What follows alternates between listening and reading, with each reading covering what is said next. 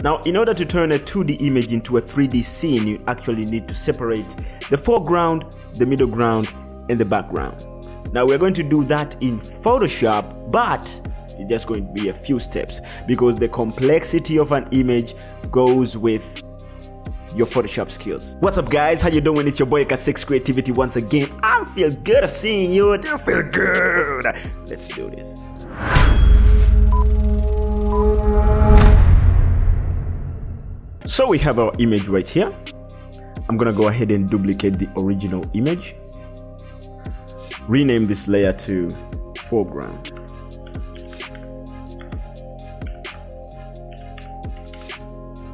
Okay. Click OK. I'm going to blind this image right here, so we won't be using it.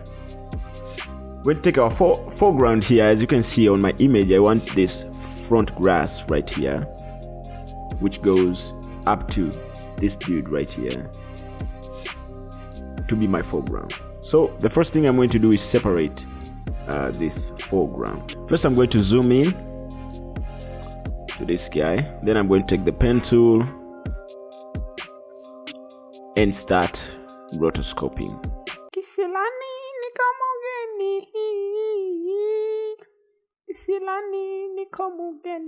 I'm going to zoom out here, pressing Control 0 and I'm going to just do a rough mask here on this grass. Because we are going to be using an eraser to to soften the edges of this grass right here. Uh, right click on our selection here. Make selection and we're going to put the feather radius to 2 and press ok now this is our foreground. So what we're going to do because we don't want to delete this guy. We want to delete everything outside. Go to selection inverse and delete. Press ctrl d to deselect. Take the eraser tool right here. Increase the feather the size and uh, the hardness is going to be to zero because that's what we want to do. We just want to feather this. Soften the edges here. Just about there this side too. Reduce the size as we get close to our subject because we don't want to like feather him out. The whole point of this is just to make it look more realistic. Now as you can see our composition here is 1920 by 1080 but our image is not. So what we're going to do is uh, select the clone stamp and we are going to increase here uh, this foreground by selecting some place like here and you know yes painting over.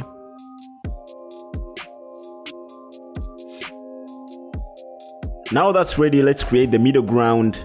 Then after that we'll create the background. Then after that the separate helicopters elements that we're going to be placing into our 3D scene. We're going to be using the same techniques. You're going to be using the clone tool, you're going to be using the pen tool. Because this is the image that doesn't have too many details and you can actually play around and manipulate and delete some stuff you know. You, you know you don't you don't have to actually create the 3d scene according to how the actual image is. What you have to do is play around with it you know remove some stuff put in some stuff just the way it works for you and eventually separate clean layers of the background the foreground and the middle ground. Name it middle ground. Turn off the original and what I'm going to do is delete this guy right here delete this guy in front of him. I'm going to leave this guy right here. I'm going to delete this guy right here. And you know yeah. So let's do it.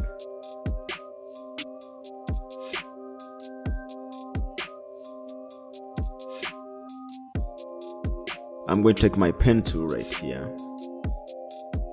And I'm going to create a rough mask here around this area because this is where I want my middle ground to be to this guy. Then I'll zoom in here get a look good look at this guy. Then I'm going to crop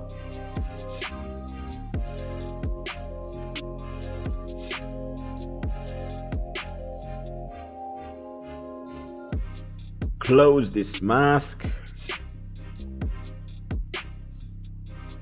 Right click make selection. And I'll make this three. Press ok. Select inverse and that is so I'll also go into details with this one. Zoom in right here. Take the pen tool.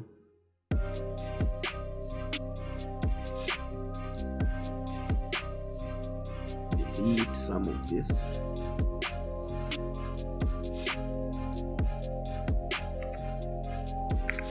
And then what I'm going to do is take the eraser tool again increase the size make sure the feather like the hardness is completely zero. I'm going to feather the grass here once again make sure the middle ground is selected deselect everything and um, just smoothen out the edges here because we do not want to have like really really rough edges on the grass. Because again grass is not rock okay? The final layer we're going to be working with is the background. And after that we'll just be cutting out the little helicopters by using the pen tool. And then once we finish having all the layers we're going to transfer the layers to after effects. We're going to duplicate this rename it to background.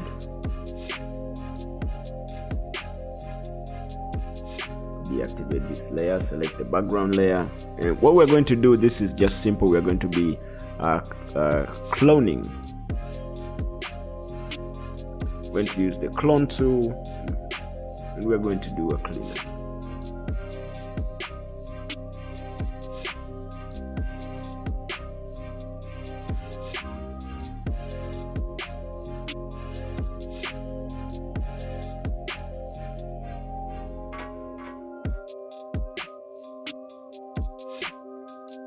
so there now we have our background right here. We have our foreground we have our middle ground.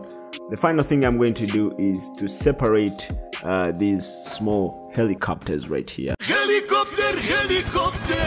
into different separate layers okay? So what i will do is i will crop this helicopter right here and crop uh, this helicopter right here and, and this and this helicopter right here and just create a dynamic look to the actual elements that are in so we just don't have the foreground the background stuff. We, we can have like separate layers in there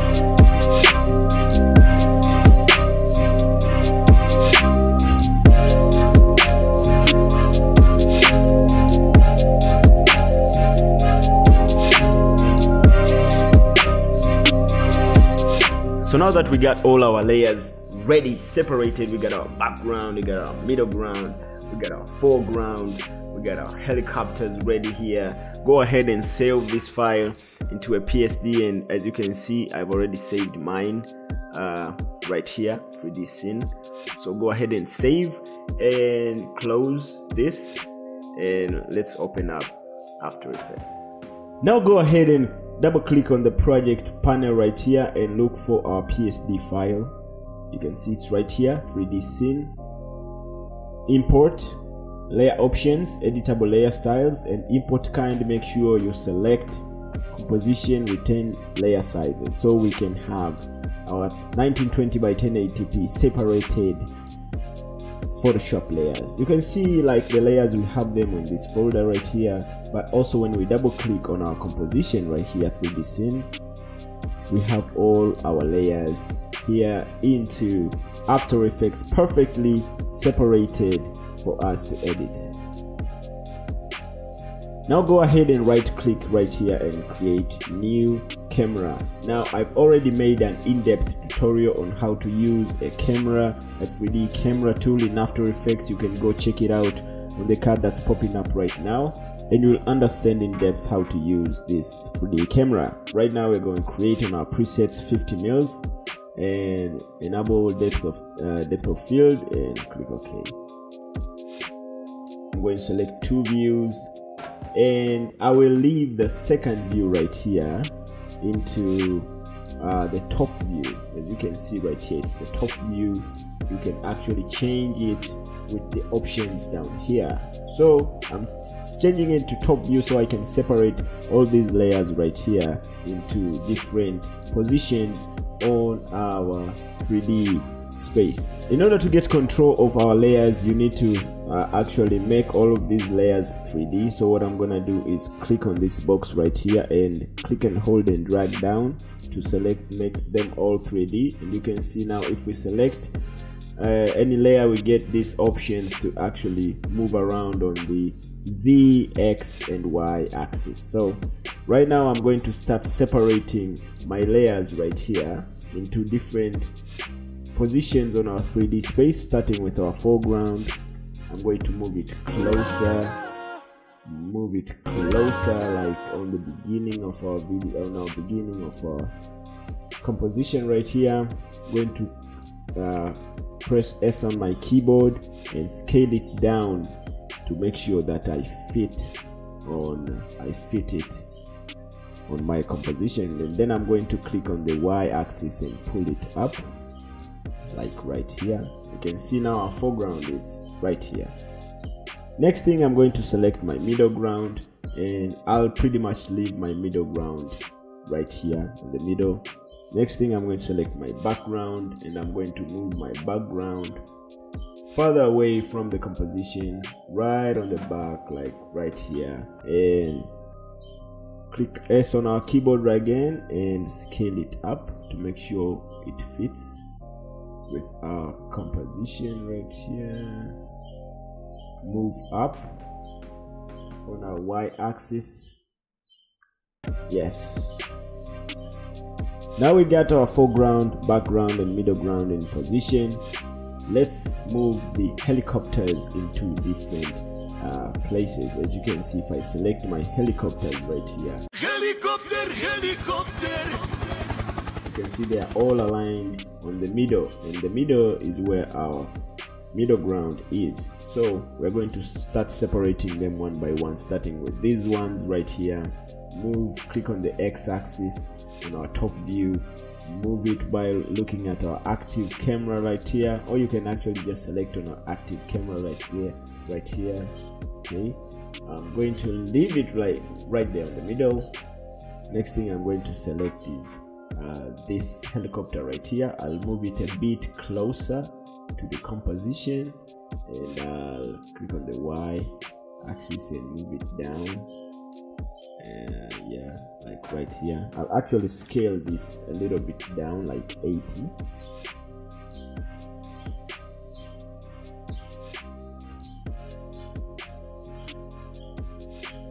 yes like right here. Make sure it's close to the foreground but not too close. Going to move it up a little bit like right here. That's nice.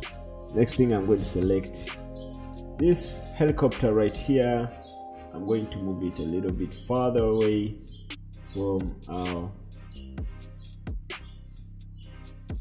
a little bit farther away. Okay. Make sure you move the x-axis to make sure that it fits. It doesn't see like it has been cropped and we're going to finish up with this one right here. This because it's far away i'm going to move it far close to the background image right here. And now what i'm going to do is scale it up a little bit like 120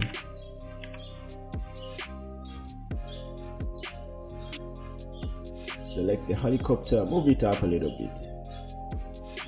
Now that we have everything positioned in different uh, places on our 3d space we are going to select our camera and what we're going to do now is work on the camera settings. Now the camera options right here um, before we tap in on the camera options just remember to put this back to v1 and you can see like our background is a little bit uh, scaled down. So make sure we fix that by selecting the background layer click s on our keyboard and scale it up. Just a little bit like that and move it on our life. Yeah. right there. Okay now that is done what we're going to do right now is select uh, this. As you can see. Select our camera. Come to our camera options. Increase our aperture right here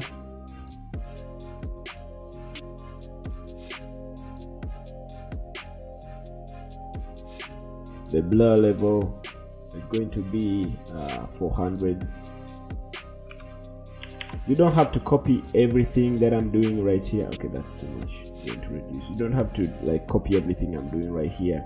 Like those tutorials where they just show you like click this number. You actually need to play around with this and experiment and see what works for you. So 100 on the blur level is actually the natural blur level. So you can leave it to 100 and that's fine okay? We can also see our foreground like right here is a little bit small. So make sure you select that click S on our keyboard and um, scale it up. As you can see we have our depth of field activated and we have our blur level already set what we are going to do is now set the focus distance. So i'm going to animate this focus distance as i move my my my cursor. So i'll click on the stopwatch right here the focus distance to put a keyframe. Then i'll make sure as i am beginning my animation my dude here on the foreground is active and everything on the background is blurry. As you can see right now uh, my dude is actually sharp and everything on the background right there is blurry. I'm going to move on the end of my timeline and i'm going to change again the focus distance increase the focus distance and change it to the background To set it like like right here. Someplace close to this guy right here in the middle ground here and in the background okay? So now that's ready. Click F9 to make our keyframes easy ease and now uh, come on the beginning of our timeline right here. On our transition properties come to position activate the stopwatch. Make sure you're in the beginning of the time frame. You have our keyframe now. Move to the end of our timeline. Select the dolly tool. Click hold and drag.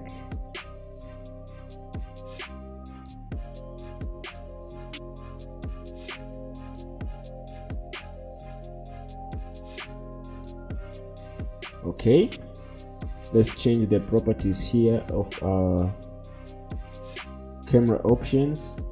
As you remember we did set here a keyframe for our focus distance. We just make sure that that is uh, sharp that we have a little bit of details here in the background. So I'll sharpen the background. Like right there you can see now we have a blurry on this helicopter right here in these guys but we can see these guys up here. So come back on our tra transform properties position select the keyframe press F9 select the keyframe press F9 and now let's play this and see how it works out